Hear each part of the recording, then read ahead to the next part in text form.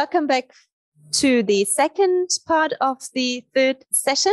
And as I said before we um, broke for the um, coffee break, we would like to welcome uh, Mr. Guillaume, Guillaume Saint-Denis. He is the president of uh, Plan Bleu. And um, Mr. Saint-Denis will be talking about uh, also about the Barcelona Convention, I think. Um, I'm glad you are with us, uh, Guillaume, and you have the floor. Thank you very much, Christina. Bonjour à tous. Euh, désolé, j'avais prévu d'être en présentiel avec vous aujourd'hui euh, et un incident technique euh, m'en a empêché. Je le regrette, d'autant plus que c'est à, la faculté de Sceaux que j'ai fait ma, ma première année de droit, ce qui nous emmène déjà au dernier millénaire, hein, c'est-à-dire au dernier siècle et au dernier millénaire, et que j'y ai été ensuite chargé de travaux dirigés en droit public. Euh, donc voilà, j'ai des souvenirs euh, anciens et, de très jeunes qui m'attachent à, à ce lieu. Euh, alors, on m'a demandé de vous parler du, plan bleu et de présenter ce qu'est le plan bleu. Euh, ce qui n'est pas très facile parce que euh, le plan bleu est une chose euh, un peu non identifiée en termes juridiques. Et euh, je, je, pour, pour, bien l'expliquer, euh, je crois qu'il faut euh, remonter à 1972. Euh, vous vous souvenez qu'en 1972, il y a eu euh, la conférence de Stockholm, qui a été très importante. Ça a été presque la, la, la première grande conférence, non pas sur les questions de protection de la nature, mais sur les questions d'environnement en général. Et juste après est né le programme des Nations Unies pour l'environnement, et donc, nous allons fêter ça, euh, le cinquantenaire de ça, l'an prochain. Euh, une des premières choses qu'a qu lancé le, le, programme des Nations Unies pour l'environnement, ça a été presque immédiatement ce qu'on a appelé le programme des mers régionales. Euh, et le programme des mers régionales est aujourd'hui considéré comme un succès. On, l'appelle même euh, euh the, the, the, Crown Jewels of Environmental Diplomacy, les joyaux de la couronne de la diplomatie environnementale. Et il y a aujourd'hui une vingtaine de, de, programmes de mer régionales, euh, la Baltique, euh, l'Atlantique Nord, euh, les Caraïbes, l'Afrique de l'Est, etc. et le premier programme de mer régionale qui a été lancé, ça a été la Méditerranée, avec d'ailleurs quelques, quelques interrogations, parce que la situation en Méditerranée n'était pas simple à l'époque, elle l'est toujours pas aujourd'hui, peut-être même de façon encore plus difficile et compliquée. Mais c'est donc en Méditerranée que ça a été lancé. Et il y a eu une convention euh, régionale, donc, qui, euh, dont sont signataires les 21 pays. Euh, à l'époque, il y avait un peu moins de 21 pays, puisque la, la Yougoslavie était un seul pays. Mais aujourd'hui, les 21 pays riverains et l'Union européenne, ce qui est intéressant pour des raisons que je dirai après, qui sont donc partis à cette convention. L'idée de la diplomatie de l'ONU sur les mers régionales était de dire que euh, ces problèmes euh, de, de mer régionale, évidemment, ne pouvaient pas se régler par un seul pays et ne pouvaient pas se régler sans la participation de tous les pays riverains. Euh, et donc, euh, cette convention de Barcelone, euh, signée en 1976, est rentrée en application en 1978. Et il y a eu ensuite un certain nombre de protocoles à cette convention. Il y en a sept, si ma mémoire est bonne, pour la Méditerranée.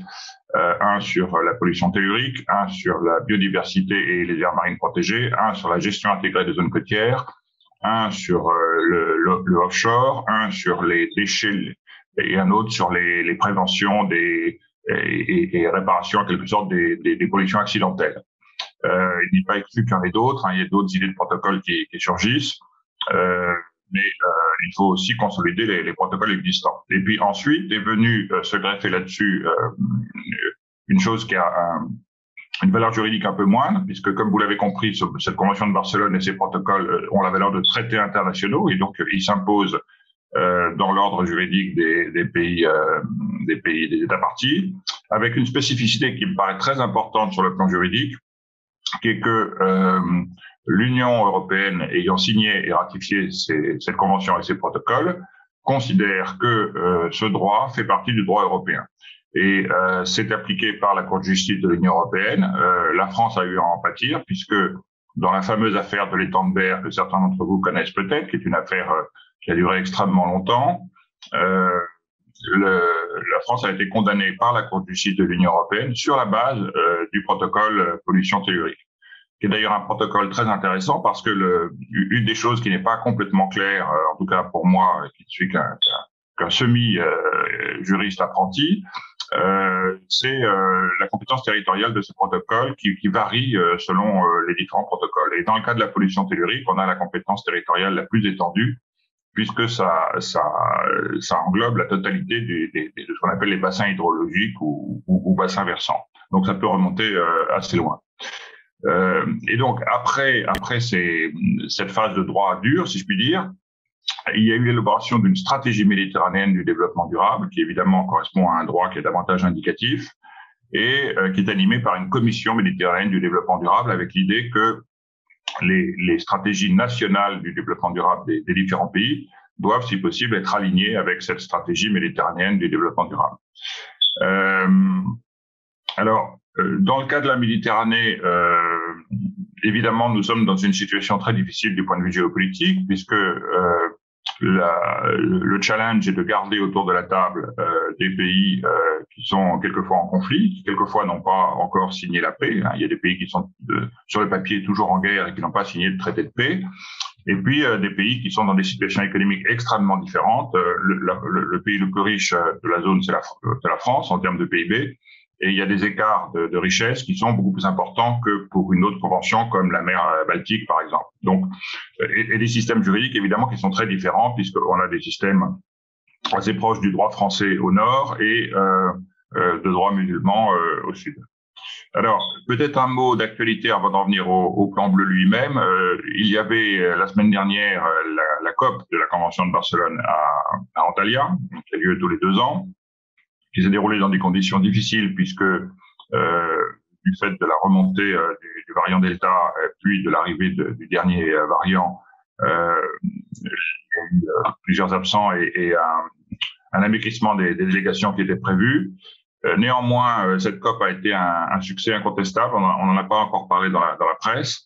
Euh, la chose la plus importante me semblant être, et, elle n'est pas du tout évidente, que euh, les 21 pays se sont mis d'accord, c'est un projet sur lequel nous travaillons depuis plusieurs années, pour que la Méditerranée entière devienne une zone CECA. Alors pour ceux qui ne savent pas ce que c'est qu'une zone CECA, euh, il y a, euh, comme vous savez, les, les, les, le transport maritime utilise un carburant qui est le fuel lourd, et euh, le fuel lourd est un carburant qui est très polluant, euh, notamment parce qu'il contient beaucoup de soufre et que le soufre est un polluant qui est euh, problématique pas seulement pour la biodiversité, mais surtout pour la santé. Euh, il y a un certain nombre de, de, zones maritimes dans le monde qui ont introduit ce qu'on appelle des zones CECA, c'est-à-dire des zones sans l'utilisation de ce carburant très soufré. C'est notamment le cas de la Baltique. C'est aussi le cas de zones maritimes au large des États-Unis. Et nous étions un certain nombre, il y a quelques années, à nous, à nous être étonnés de ce qu'il n'y ait pas de zone CK euh, en Méditerranée, puisque la Méditerranée est une zone extrêmement peuplée et que euh, les, les, populations des pays euh, riverains de la Méditerranée sont très concentrées sur la bande littorale, donc assez exposées euh, à ce carburant. Euh, et donc a, surgi l'idée de, de, de, mettre en place une zone CK en Méditerranée. Dans mon esprit, à l'époque, c'était plutôt une zone CK sur une partie de la Méditerranée. Et puis, euh, c'est devenu un enjeu un, un, petit peu politique, entre guillemets, puisque euh, certains pays ont considéré qu'il fallait que l'ensemble de la, de, la, de la Méditerranée devienne une zone CK. Alors à ce moment-là, on commençait les discussions parce que évidemment, ça suppose des investissements assez importants. C'est une question typique de la transition écologique qui paye euh, lorsque, par exemple, en Baltique, les, bateaux qui rentrent en, en, en Baltique, euh, ils doivent avoir deux cuves. Ils ont une cuve pour euh, utiliser le, le fuel lourd dès qu'ils sortent dans l'Atlantique mais ils doivent switcher euh, sur un autre carburant euh, lorsqu'ils arrivent en, en, mer Baltique. Donc, euh, évidemment, c'est un coût d'investissement pour avoir une motorisation compatible avec ces deux carburants, pour mettre un, un, un deuxième, une deuxième cuve, etc., etc. Et, puis, et certains pays du sud de la Méditerranée qui ont une flotte importante ont fait valoir que il y avait un coût d'investissement important et qui devait être aidé euh, pour euh, si on s'ils voulaient respecter ce protocole. Et donc on n'était pas du tout sûr que que ça, cette euh, cette décision soit adoptée et elle a été adoptée euh, à l'unanimité. Et donc euh, maintenant ça, la procédure n'est pas tout à fait terminée puisqu'il faut encore passer devant l'OMI, mais on peut considérer que c'est la, la la barre la plus haute qui a été franchie. Et normalement, la zone CK devrait être mise en place pour 2025, c'est-à-dire très rapidement, le temps de faire les investissements nécessaires sur l'ensemble de la Méditerranée ce qui est assez réconfortant à la fois en termes euh, d'environnement dans une période euh, compliquée et dans un environnement géopolitique compliqué, de voir que ces pays-là qui sont souvent euh, pas d'accord sur d'autres choses arrivent à se mettre d'accord sur ce sujet. et c'est aussi important en termes de droit et en termes de gouvernance d'une mer d'une mer qui, est quand même bordée par 21 pays différents. Donc je, voulais signaler ça avec d'autres d'autres outputs positifs de cette de cette COP sur euh, l'adoption du programme pour les deux ans qui viennent, un certain nombre d'amendements à des, à des protocoles, euh, etc. D'autres choses, mais le, plus spectaculaire sur le plan juridique et sur le plan du progrès de la situation environnementale me semble être l'adoption de cette zone CK. Alors, le plan bleu, pour en venir à lui, euh, est une euh, initiative française euh, dont a été à l'origine euh, quelqu'un dont je voudrais rappeler la mémoire, qui était Serge Antoine, que peut-être certains d'entre vous ont connu. Euh, Serge Antoine était un conseiller maître à la Cour des comptes, qui a été euh, un haut fonctionnaire français, donc qui a été très tôt intéressé par les questions de prospective, d'environnement, d'aménagement du territoire et aussi de Méditerranée. Et donc, euh, il, a, il, a, travaillé longtemps à la DATAR. Je vous rappelle que la DATAR, l'organisme français de la DATAR, délégation à l'aménagement du territoire, est à l'origine des parcs naturels régionaux euh, en France. Et il a très tôt senti qu'il y avait, euh, il allait avoir un problème avec l'évolution de la Méditerranée, vu l'importance des, contraintes auxquelles elle était euh, soumise et auxquelles elle allait être de plus en plus soumise, et euh, qu'il y avait besoin de prospective pour la Méditerranée. Donc, euh, a été créé le plan bleu, presque au même moment que, que la, la, la, Convention de Barcelone, euh, sous la forme d'une association loi 1901 française, mais le plan bleu s'est ensuite vu reconnaître le statut de centre d'activité régionale euh, du programme d'action pour la Méditerranée, qui lui-même dépend, comme vous le savez, du, programme des Nations Unies pour l'environnement, euh, UNEP. Donc, le plan bleu est rattaché euh, au programme des Nations Unies euh, pour l'environnement via l'intermédiaire du, du PAM. Euh, donc, il exerce un certain nombre de tâches pour euh, le PAM et le PNU, qui sont euh, essentiellement des tâches horizontales. Euh, nous avons par exemple sorti récemment deux rapports importants. Le premier, c'est un rapport qu'on appelle RAID en abrégé, qui est un rapport sur l'état de l'environnement en Méditerranée, les, les, pressions, les impacts, euh, les, les, éventuellement quelques pistes de solutions, etc. Et puis nous avons euh, hébergé euh, le secrétariat d'un organisme extrêmement intéressant qui est un regroupement de scientifiques qui s'appelle MEDEC. Euh, le but et qui a, a publié l'an dernier un rapport qu'on appelle MAR 1, qui est le premier rapport euh, régional sur euh, l'état du changement climatique en Méditerranée. Donc l'idée a été de refaire une sorte de rapport du GIEC, mais concentré sur la zone géographique du bassin méditerranéen, avec uniquement des experts indépendants qui n'ont pas du tout de, de, de consignes, bien sûr, qui sont totalement libres d'écrire ce qu'ils écrivent, qui écrivent selon la méthode de, de, de, du GIEC, c'est-à-dire euh, très, très probable, moyennement probable, peu probable, etc. Et le plan bleu euh, n'assure que le secrétariat administratif et la, la coordination de, de, ce rapport. Donc c'est un rapport qui est qui me paraît important et qui, est destiné à avoir des suites. Nous allons euh, publier un deuxième tome, euh, soit en fin d'année, soit l'année, soit, en fin d'année prochaine, soit en 2023. Euh, nous essaierons en fait de le, si possible, de le publier avant la, la prochaine COP euh, de la Convention de Barcelone qui a lieu en Égypte, donc euh, dans un pays qui est très important.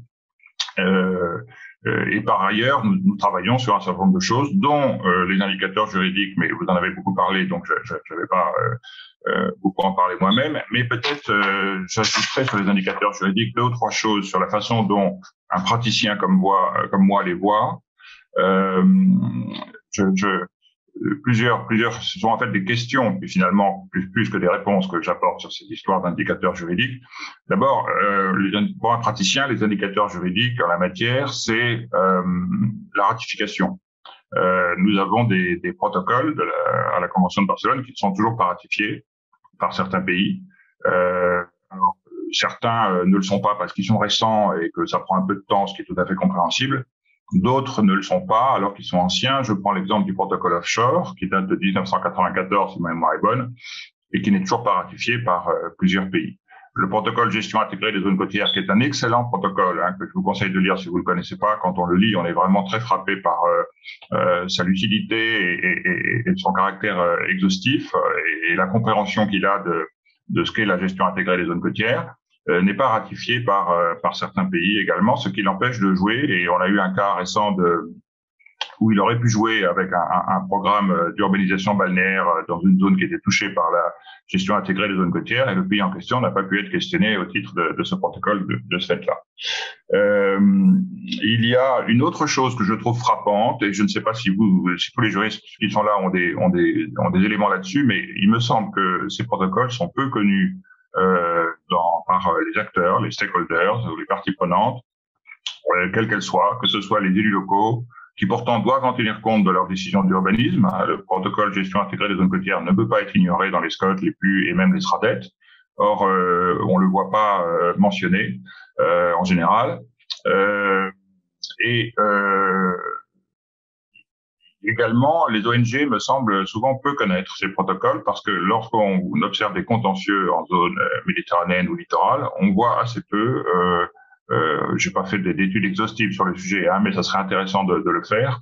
Mais on voit assez peu quand on regarde de façon impressionniste comme ça ce, ce, ces moyens euh, bandits. Euh, et, il y a un, un, troisième problème d'effectivité que je voudrais pointer. Euh, on se pose beaucoup la question en ce moment. Alors, je déborde un peu de l'effectivité pour y revenir, des indicateurs pour y revenir. On se pose un peu la question aujourd'hui de ce que veut dire euh, ou de ce que veulent dire les les objectifs de 10% et 30% ou quelquefois 50% d'air protégé, etc.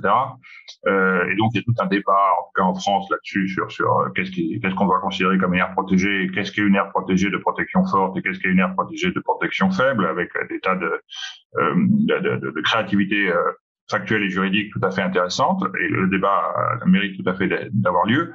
Euh, il y a un sujet qui n'est pas posé et, et, personnellement j'en suis surpris euh, on a le développement euh, en Méditerranée en ce moment de, de d'éolien offshore, euh, qui commence un peu plus tard que dans d'autres mers parce qu'on a des fonds marins qui sont un peu plus compliqués qu'ailleurs et donc on va avoir un éolien offshore plutôt flottant, ce qui semble-t-il euh, est moins pénalisant pour la biodiversité qu'un éolien, un éolien offshore ancré au sol. Mais euh, on a des cas assez étranges où, par exemple, je, je prends l'exemple français qui est évidemment celui que je connais le mieux, euh, si je prends l'exemple de la baie de Somme, qui n'est pas une zone méditerranéenne, mais qui est une zone qui a été bien protégée vraiment par, par l'État en France euh, depuis les années 60-70, avec des sites classés, des sites inscrits, une zone Ramsar, un parc naturel régional, euh, une réserve euh, nationale, euh, des acquisitions par le Conservatoire du littoral, et dernièrement la création d'une aire marine protégée en sortie sud de la baie de Somme. Donc, on peut considérer que l'État a bien fait son travail et que c'est un endroit qui est vraiment plutôt bien protégé. Mais euh, un ou deux ans après que cette aire marine protégée ait été créée, euh, il y a la décision d'implanter un parc éolien qui. Euh, Sorry for interrupting you. Could you speak a little slowlier for the oui, bien sûr, bien sûr, bien sûr. Il y a, donc, donc, on crée une aire marine protégée en sortie sud de la baie de Somme, euh, qui est donc une baie qui est au, au, nord de la France, qui est très importante pour, euh, qui est une halte migratoire euh, très importante pour les pour les oiseaux d'eau, qui est très connue et aussi pour la nidification, qui est sur un couloir de migration. Et on crée donc, pour parfaire ce, ce, système de protection, qui encore une fois me paraît, me paraît bon, et même très bon, euh, une aire marine protégée en sortie sud de la baie de Somme. Et euh, un ou deux ans après avoir créé cette aire marine protégée, on décide d'implanter un parc éolien offshore qui recoupe en partie cette aire marine protégée. Euh, ça pose euh, plusieurs problèmes. Le premier, c'est est-ce qu'on peut mettre une installation industrielle dans euh, une, aire marine protégée? Le second, c'est est-ce que la mer n'est pas assez grande pour qu'on puisse avoir d'un côté une aire marine protégée et un peu plus loin un parc éolien? Et le, le troisième qui me paraît peut-être encore plus gênant que les deux premières, c'est que euh, euh, l'État a dépensé de l'argent euh, pour créer cette aire marine protégée, puisque tous les inventaires, etc., la procédure s'est fait euh, grâce à de l'argent public. Mais il dépense ensuite de l'argent public pour créer ce parc éolien offshore, puisque aujourd'hui, il n'y a pas de rentabilité de l'éolien offshore et il y a ce qu'on appelle une rémunération de complément qui vient rendre ce parc éolien offshore possible. Alors, que ces rémunérations de complément qui sont légales et qui sont acceptées par la Commission de Bruxelles puissent avoir lieu dans des endroits normaux, on le comprend, euh, qu'elles puissent avoir lieu dans des zones qui sont par ailleurs protégées et protégées grâce à l'argent de l'État, euh, me, me, paraît poser un problème à la fois de, de logique, d'économie budgétaire, de bonne gestion des finances publiques et de cohérence des politiques euh, environnementales, mais pourrait être, euh, me semble-t-il, une forme d'indicateur euh, que ces zones ne sont pas vraiment protégées si l'État peut y intervenir avec de l'argent public pour endommager quelque chose qu'auparavant il a euh, protégé en dépensant de l'argent public pour le faire. Et personnellement, je, compte poser cette question lorsque reviendra euh, ce, ce, débat euh, qui me semble important. Voilà, en gros. Alors, les, les, tâches du plan bleu à venir sont, sont importantes. Nous avons notamment euh, la, la, nouvelle stratégie méditerranéenne du développement durable euh, qui est à mettre en chantier. Euh, nous avons des, des, des, euh, des, chantiers importants sur euh, l'éducation au développement durable, l'information en matière de développement durable, qui est un chantier qui avance quand même pas mal dans les pays méditerranéens. Il faut reconnaître que les, les pays euh, ont, beaucoup avancé dans ces sujets-là. Nous avons le problème, euh, je viens d'en dire un mot, des subventions publiques dommageables, mais notamment des subventions publiques dommageables aux, aux énergies fossiles. Euh, et euh, avec des bonnes réformes qui ont été faites. Le Maroc, par exemple, vient de faire une bonne réforme dans ce, dans ce domaine. Euh, et puis nous avons toutes les tâches de prospective et toutes les tâches euh, horizontales. Voilà, j'espère que j'ai clarifié un peu ce que ce que fait le plan bleu, bien que ce soit compliqué à faire puisque, comme je vous dis, il, a des tâches un peu protéiformes et qu'il s'agite un peu dans les différentes directions ouvertes par cette convention de Barcelone et ses protocoles et cette stratégie méditerranéenne du développement durable qui est encore plus large. Mais euh, en tout cas, nous sommes très heureux d'avoir euh, des liens euh, avec euh, la communauté des juristes parce que nous n'en avons pas assez et nous n'avons pas de juristes en interne. Nous avons constamment des problèmes d'interprétation juridique qui se posent sur lesquels nous manquons de compétences. Nous manquons de compétences. Donc c'est un peu un appel à la communauté des juristes que je me permets de lancer pour leur dire qu'ils sont très bienvenus et, et nous serions très heureux d'intensifier nos liens avec eux. Merci beaucoup pour cette opportunité de présenter le plan bleu. Thank you. Um, thank you very much, uh, Guillaume. Uh, thank you for your uh, introduction to, to Plan uh, to, to the audience. Uh, it was fascinating to hear um, your examples about the um, possible needs to reconcile um, climate change, renewable energy projects in, in protected areas, protecting biodiversity.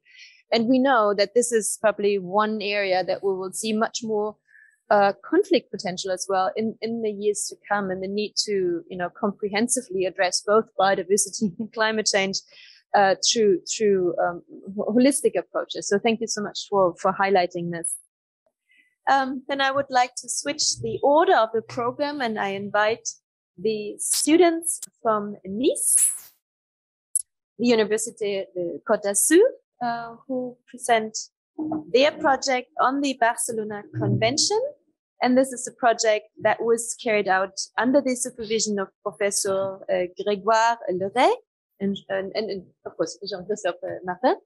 Um, Jean-Christophe, you have the, I see you on the floor, uh, on the camera, you have your presentation. The floor is yours. I'm Professor Grégoire Leray and I will begin and um, Jean-Christophe will speak after me. Euh, je, je, voudrais euh, débuter notre intervention par quelques brefs mais euh, très sincères mots de, de remerciement. Euh, merci aux organisateurs du colloque, euh, des différentes institutions et, et entités qui ont, qui ont, joint leurs forces pour permettre la tenue de cette manifestation.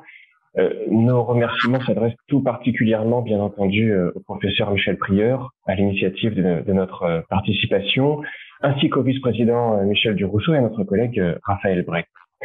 Alors nous sommes ravis de participer, évidemment en regrettant de devoir le faire à distance. Euh, voilà à peu près un an, Michel Prieur nous a contactés, euh, Jean-Christophe Martin et moi-même, pour euh, nous proposer de, de contribuer à la recherche sur les indicateurs juridiques. Fort du succès d'une expérience précédente sur un, tout autre sujet, euh, nous avons proposé d'y associer les étudiants volontaires de deux masters historiques de la faculté de droit de Nice, le master de droit de la mer et euh, des activités maritimes et le master juriste euh, du risque et du développement durable. La hum, présentation qui va vous être faite est donc le fruit d'un exercice pratique euh, collectif, innovant, comme ça a été rappelé tout à l'heure ce matin par Michel Prieur, innovant pour les étudiants de deux horizons proches. Certains sont spécialistes donc de droit, surtout international, de la mer, les autres spécialistes de droit, surtout interne, de l'environnement. Et donc, c'est de manière très consensuelle que le choix du support de notre contribution sur les indicateurs juridiques s'est porté sur le protocole prévention et situation critique qui permet de joindre de manière forte les deux expertises. Euh, la consigne a été donnée euh, aux étudiants de faire montre d'imagination. En s'affranchissant du modèle de rapport étatique préexistant, voilà donc que l'exercice était d'autant plus intéressant qu'au seuil du travail, euh, il y a donc euh, à peu près un an, les étudiants n'étaient pas encore très informés du processus de suivi, le compliance reporting de l'article 26 de la Convention de Barcelone, ni, a fortiori, des recherches en cours sur les indicateurs juridiques. L'objectif euh, était d'enrichir l'approche de la mise en œuvre du protocole, quitte à dépasser la logique à l'œuvre dans le modèle de rapport existant. Les étudiants ont finalement, de notre côté, élaboré euh, quelques 154 indicateurs pour les 25 articles du protocole et donc on fait montre d'imagination. Certains articles euh, dépourvus d'indicateurs dans le modèle de rapport en vigueur ont fait l'objet de propositions. D'autres déjà assortis d'indicateurs ont vu ceci très approfondi. Mesdames et messieurs, je vais ajouter quelques mots à ce que le professeur Leray vient de présenter pour euh, préciser qu'à l'issue du travail, euh, dont des extraits euh, des éléments les plus saillants, disons, vont vous être présentés par deux diplômés de nos masters, nous avons en fait dressé deux constats qu'il nous semble intéressant de partager avec vous. D'une part, le travail qui a été réalisé par l'équipe d'étudiants montre en fait une résonance assez forte avec les réflexions qui sont actuellement conduites au sein du centre régional compétent pour suivre la mise en œuvre du protocole prévention et situations critiques ce que l'on appelle le REMPEC, et en particulier les préconisations que l'on trouve euh, dans les 12e et 13e réunions des correspondants du REMPEC sur l'objectif de mise en synergie sur la meilleure intégration entre euh, les bases de données, s'agissant du partage des données, du suivi, euh, de la communication de l'information. La, la proposition d'indicateurs juridiques que nous avons formulé avec le groupe d'étudiants, avec son spectre, vous allez le voir, assez large, participe peu ou prou de cette approche. D'autre part, euh, les indicateurs qui sont proposés euh, s'inscrivent bien dans les catégories, dans les familles élaborées dans le cadre du travail théorique réalisé par l'équipe coordonnée par le professeur Michel Prieur, dont euh, la grande pertinence nous semble ainsi pleinement confirmée par les travaux conduits par les étudiants sur le protocole prévention et situation critique. Chacune des familles d'indicateurs identifiés se retrouve dans le travail dédié au protocole, du moins, je dirais, les, les cinq familles de critères juridiques, à l'exception en effet de la sixième catégorie, celle des critères extra-juridiques, dont euh, l'appréhension a été peut-être plus difficile pour ce qui est de notre protocole. Alors vous le voyez, hein, ce, ce, travail est disponible en ligne pour celles et ceux qui souhaitent le consulter dans son intégralité. Euh, nous affichons ici un lien vers lequel vous pouvez euh, trouver le rapport, ainsi qu'un QR code qui devrait vous permettre d'accéder directement au document. Euh, deux anciennes étudiantes, désormais diplômées, mesdames Lucie Brouver et Mathéa Armandoni, vont maintenant présenter les indicateurs choisis qui se rapportent à trois articles euh, sélectionnés du protocole, l'article 3, disposition générale, l'article 9, procédure de notification, l'article 12 sur l'assistance. Ce travail a néanmoins été réalisé par une équipe, un groupe d'une douzaine d'étudiantes et d'étudiants volontaires qui ont pour ce qui est de la méthode, travailler en binôme sur chacun des articles euh, qui ont été répartis donc euh, au binôme euh, d'étudiantes et d'étudiants du protocole pour ensuite travailler dans le cadre de sessions plénières, de sessions collectives pour procéder à des recoupements, à des partages d'expériences et une certaine, disons, prise de hauteur par rapport au travail qui était fait en, binôme. Lucie Brouwer va euh, commencer la présentation en présentant en premier lieu l'article 3, puis l'article 9 du protocole, ou du moins les critères, certains critères que nous avons élaborés. Lucie, vous prenez la suite? Il nous a dès lors euh, paru euh, judicieux de présenter l'article 3 parce qu'il établit une obligation de coopération internationale. Cette obligation revêt à l'évidence une importance capitale au fin de la réalisation pratique de l'objet du protocole à savoir la protection de la Méditerranée face aux événements de pollution. Ainsi, si d'ordinaire la coopération internationale ne donne pas lieu à des critères d'évaluation dans le modèle de rapport établi pour le protocole, cette obligation mérite à notre sens de donner lieu à des indicateurs juridiques tels que l'État tient-il une base de données à jour de la réglementation internationale pertinente, s'agissant des règles internationales obligatoires, s'agissant des recommandations et lignes directrices, l'État parti dispose-t-il d'une procédure établie pour faire face à un événement de pollution qui intègre une dimension de coopération internationale Concernant le paragraphe 2, malgré la formulation de l'article et en particulier du temps de conjugaison employé, devrait prendre en compte, il nous a tout de même paru pertinent de proposer un indicateur prenant en considération la souplesse choisie pour rédiger cette disposition. L'État a-t-il identifié les acteurs pertinents afin de préparer la réaction à un événement de pollution? Il nous a également paru pertinent de, mettre en évidence l'article 9 dans la mesure où il définit une procédure de notification qui revêt une importance majeure pour la lutte contre la pollution de la mer par les hydrocarbures ou des substances nocives ou dangereuses. En effet, la procédure de notification repose sur une coopération entre États, appelant également à prendre des mesures à titre individuel. À la lecture du paragraphe 1, nous avons décidé de mettre en lumière un degré de détail supplémentaire au niveau de la rédaction des indicateurs. C'est dans ce cadre que nous avons proposé les indicateurs suivants. L'État a-t-il établi des procédures de notification éventuellement requises pour les événements pour la présence, les caractéristiques et l'étendue, l'État a-t-il déjà signalé des événements, la présence, les caractéristiques et l'étendue de nappes d'hydrocarbures ou de substances nocives Nous avons aussi euh, imaginé des indicateurs portant non seulement sur les mesures prises au sein de l'ordre juridique interne des États, mais également sur la mise en œuvre pratique du protocole en proposant les indicateurs suivants. L'État a-t-il fait donner les instructions au capitaine par des mesures législatives, par des mesures réglementaires, autres, si oui lesquelles? Concernant les paragraphes 2 et 3, nous retrouvons ici la même démarche qui intègre en fait l'application dans la pratique des dispositions du protocole. Nous avons ainsi proposé les indicateurs suivants pour le paragraphe 2 qui portent sur les interactions effectives avec les acteurs internationaux concernés, le REMPEC et l'OMI. L'État a-t-il demandé l'assistance du centre régional? L'État a-t-il informé l'OMI des dispositions prises? Si de nouvelles dispositions ont été adoptées, l'État a-t-il informé l'OMI Quant au paragraphe 3, nous avons également proposé l'État a-t-il reçu des rapports concernant un événement? Nous avons également euh, décidé de, nous pencher euh, sur le paragraphe 8 euh, de, de cet article, dans la mesure où il présente une certaine originalité. Euh, il prévoit en effet un format standard de notification mutuellement agréé par le REMPEC. Dès lors, comment apprécier l'efficacité d'une telle norme? L'indicateur que nous avons proposé permet de savoir si l'État utilise déjà le format de standard mutuellement agréé.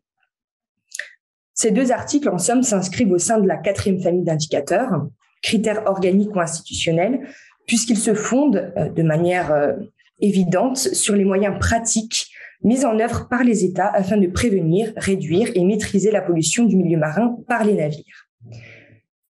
Je laisse désormais la, parole à, à Mathéa Armandoni euh, afin qu'elle puisse vous présenter l'article 12. Merci. Euh, pour prolonger la présentation, nous avons choisi de vous présenter l'article 12 qui porte sur l'assistance face à un événement de pollution, ce qui revêt également un intérêt majeur pour l'objet du protocole. En outre, euh, l'article 12 est intéressant car il présente également un contenu varié. Nous avons élaboré pour cet article 18 indicateurs de différents types, alors que le modèle de rapport étatique n'en contient qu'un. Toute partie ayant besoin d'assistance pour faire face à un événement de pollution peut demander, soit directement, soit par l'intermédiaire du centre régional, le concours d'autres parties, celles qui sont susceptibles d'être également affectées par la pollution étant sollicitées en premier lieu. Ce concours peut comporter notamment des conseils d'experts et la fourniture à la partie concernée ou la mise à disposition de celle-ci du personnel spécialisé nécessaire, de produits, d'équipements et de moyens nautiques. Les parties ainsi sollicitées font tous les efforts possibles pour apporter leur concours. Le paragraphe 1 établit donc la possibilité pour toute partie ayant besoin d'assistance face à un événement de pollution de demander l'assistance d'autres parties, lesquelles ont une obligation d'apporter leur concours. On le voit, il s'agit pour les parties sollicitées d'une obligation de moyens, rédigée au présent de l'indicatif, et de manière assez exigeante par l'emploi de la formule tous les efforts possibles. Un aspect particulièrement intéressant de cette disposition est qu'elle précise que ce concours peut consister dans le conseil d'experts, la fourniture et la mise à disposition d'un personnel spécialisé, ce qui nous semble mériter des indicateurs. Nous avons ainsi proposé les indicateurs suivants. L'État tient-il à jour? Une liste, pardon, une liste à jour d'experts mobilisables en cas de situation critique? Existe-t-il une procédure de sélection des experts? Existe-t-il un cadre administratif et juridique permettant la mobilisation des experts en cas de situation critique? Nous avons ici d'ailleurs pris quelques distances avec la méthodologie définie dans les travaux sur les indicateurs juridiques conduits par l'équipe du professeur Michel Prieur, en ne formulant pas seulement une question attendant une réponse par oui ou non, mais qui attendrait une réponse chiffrée. Combien d'experts sont identifiés par l'État? Combien sont identifiés par domaine d'expertise pertinent? Si oui, dans quel délai? Il a également semblé pertinent de formuler des indicateurs relatifs aux acteurs institutionnels. L'État a-t-il identifié l'autorité habilitée à décider d'apporter ou non l'assistance à un État tiers qui la demande si cette autorité est distincte des autorités nationales compétentes de l'article 7, paragraphe 1b, la procédure d'autorisation d'assistance est-elle établie? Ces indicateurs relèvent ainsi de la famille 4, dite organique, relative aux instances compétentes. Nous y avons également défini d'autres indicateurs. Par exemple, il nous semble intéressant de nous demander si la fourniture et la mise à disposition de moyens à un État tiers parti demandant l'assistance sont-elles rendues possibles par le droit interne de l'État? Et plus encore si la structure de commandement définie pour les opérations d'intervention en mer en cas de situation critique permet-elle concrètement la mise à disposition des moyens à un tiers On retrouve cette même logique dans le paragraphe 2. Si les parties engagées dans une opération de lutte contre la pollution ne peuvent s'entendre sur la conduite même de l'opération, le centre régional peut, avec l'accord de toutes les parties impliquées, coordonner les moyens mis en œuvre par ces parties. De manière assez poussée, il nous a semblé aussi intéressant ici de formuler un indicateur alors que cette disposition porte sur la coordination par le centre régional compétent, le REMPEC, d'une opération de lutte contre la pollution. L'organisation administrative et juridique nationale permet-elle la coordination par un tiers, le centre régional REMPEC en l'espèce, des moyens mis en œuvre par l'État? Dans une logique encore une fois assez proche, le paragraphe 3, 3 excusez-moi, nous a conduit à formuler des indicateurs sur la possibilité, au regard de la réglementation administrative, de permettre l'arrivée, l'utilisation du territoire, mais aussi le départ des navires et aéronefs face à une situation de pollution.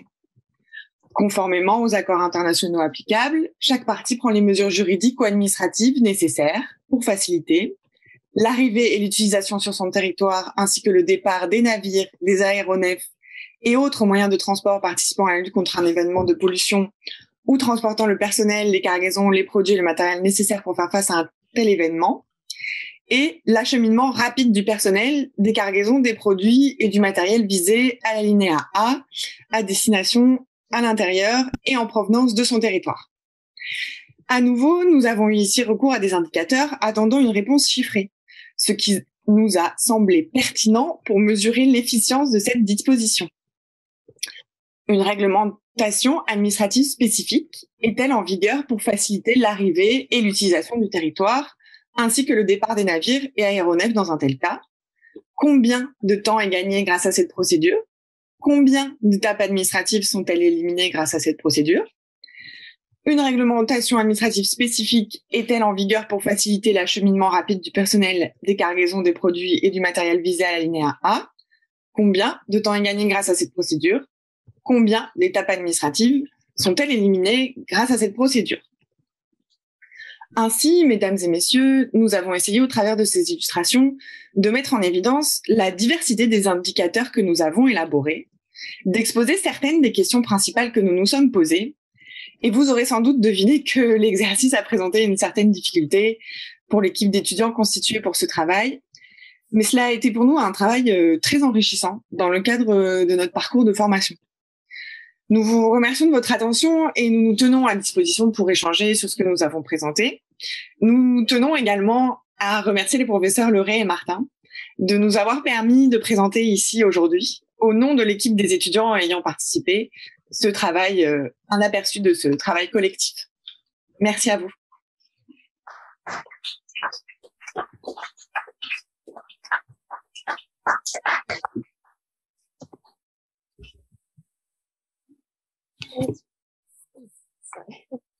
Thank you so much, uh, Lucy and Martin, uh, for your excellent presentations. And thanks uh, also to your supervisors, Professor uh, Leray and Martin, um, for this excellent project.